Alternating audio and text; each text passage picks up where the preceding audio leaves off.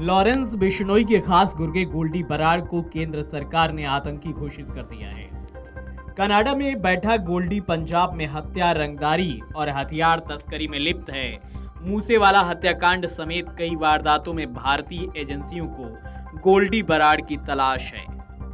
Canada में रहते हुए भारत में आपराधिक गतिविधियों को अंजाम देने वाले गैंगस्टर गोल्डी बराड़ के खिलाफ केंद्र सरकार ने अब बड़ा एक्शन ले लिया है। उसको गैर कानूनी गतिविधियाँ रोकथाम अधिनियम, यूएपीए के तहत आतंकवादी घोषित किया गया है। कुख्यात गैंगस्टर लॉरेंस बिश्नोई के राइट हैंड कहे जाने वाले गोल्डी को Punjabi singer Sidhu Moosewala murder case का मास्टरमाइंड माना जाता है।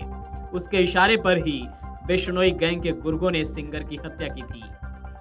भारत सरकार ने गोल्डी बराड़ को आतंकी घोषित कर दिया है।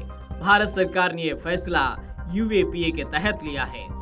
गृह मंत्रालय की ओर से जारी नोटिस में कहा गया है कि गोल्डी बराड़ प्रतिबंधित खालिस्तानी संगठन बब्बर खालसा इंटरनेशनल से जुड़ा है। वह भारत में कई बड़े अपराधों में शामिल रहा है। फ़िलहाल गोल्डी बराड़ कनाडा में है और वहीं से अपनी अपराध की दुनिया को ऑपरेट कर रहा है। पंजाबी सिंगर सिद्धू मूसेवाला की हत्याकांड का मास्टरमाइंड भी गोल्डी बराड़ को बताया जाता है। पंजाबी सिंगर सिद्धू मूसेवाला की हत्या के बाद गोल्डी बराड़ ने इस हत्याकांड की ज़िम्मेदारी ली थी। गोल्डी बराड़ पंजाब के मौजूदा मोस्ट वांटेड गैंगस्टरों में से एक है और फ़िलहाल कनाडा में रह रहा है। माना जाता है कि वह कॉलेज का एक ड्रॉप आउट छात्र है।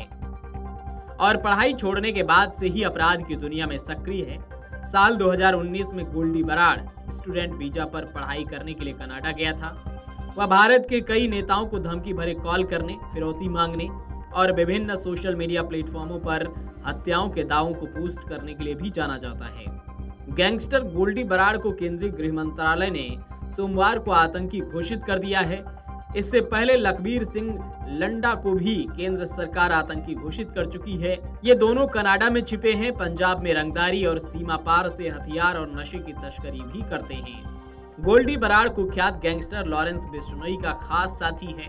पंजाबी गायक सिद्धू मूसेवाला की हत्या के बाद गोल्डी बराड़ ने ही सोशल मीडिया पर हत्या की ज़िम्मेदारी ली थी।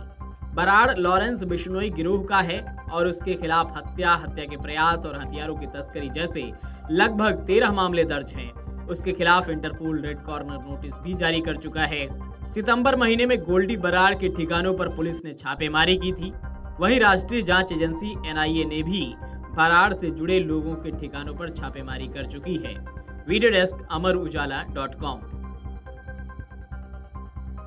अगर आप ये वीडियो YouTube पर देख रहे हैं तो हमारे चैनल को सब्सक्राइब करें और बेल आइकन को दबाना ना भूलें। अगर आप Facebook पर यह वीडियो देख रहे हैं तो हमारे पेज को लाइक करें।